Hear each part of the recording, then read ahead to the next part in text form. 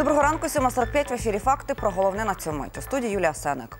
За минулу добу у зоні АТО зазнав бойової травми один український військових. Це сталося на Донецькому напрямку. Його життю нині ніщо не загрожує. Загалом бойовики двічі відкривали вогонь по позиціях українських військових. На Луганському напрямку били з мінометів поблизу щастя та Луганського. Тим часом прес-служба ОБСЄ повідомила, що в Краматорську загинув їхній спостерігач. Він їхав містом на таксі і потрапив у ДТП. Чотири роки тому на вулиці Грушевського на водохреща настав переломний момент в історії майдану. Після півтора місяця щонедільних безрезультатних зборів мітингувальники пішли у наступ проти влади на штурм Верховної Ради. Спровокували їх депутати від більшості Януковича, які ухвалили диктаторські закони 16 січня. Майданівцям забороняли маски, шоломи та намети. Автомайдану чергу довшу за п'ять машин. Заблокування адмінбудівель загрожувало п'ять років тюрми. Це була чергова поразка мітингувальників мітингувальників, які за довгі тижні так і не домоглися ані асоціації з ЄС, ані покарання за побиття студентів. І тоді обурений натовп після недільного віча пішов на силовий протест задля повалення режиму Януковича. Дорогою до парламенту активістів зустріли загони силовиків і автобуси, які перегородили вулицю Грушевського. Почалися перші сутички, коктейлі Молотова та феєрверки проти помпових рушниць та світлошумових гранат. Попереду стояли довгі морозні тижні, під час яких влада Януковича поливала українців з водометів, катувала на морозі та цинічно розстрілювала. До кривавої бійні на майдані перемоги революції гідності залишався місяць.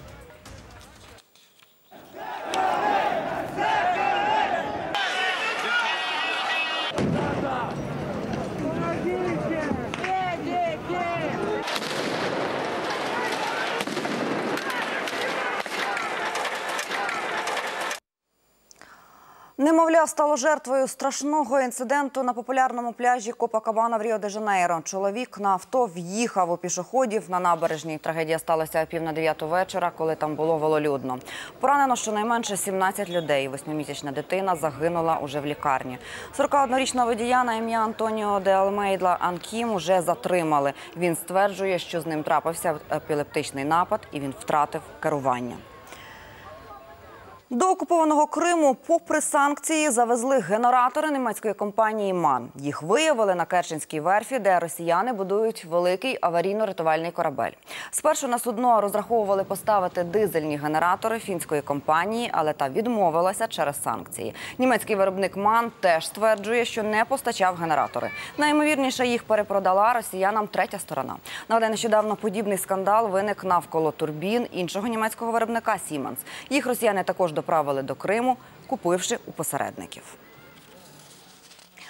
Мерседес кардинально оновив свій легендарний позашляховик G-класу. На автошоу в Детройті німці презентували новий кубик. Зовні зміни здаються незначними, але насправді це абсолютно нова машина. Авто збудоване на новій рамі. Гелендваген став довшим на 5 сантиметрів і ширшим аж на 12. Але попри це на 170 кіло легшим. Позашляхові характеристики теж вражають. Кліренс, виріс, машина легко долає брід до 70 сантиметрів. Новий салон став ще комфортнішим, передусім завдяки більшим габаритам. Поки пропонують лише один двигун 4-літровий бітурбо на 420 кінських сил, який споживатиме до 11 літрів бензину в змішаному циклі.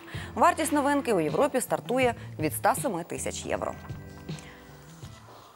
У Китаї п'ятеро тигренят малюків готуються вперше зустрітися з відвідувачами зоопарку. Їх покажуть гостям на фестивалі весни, що у лютому стартує у природньому парку міста Цицікар на півночі країни.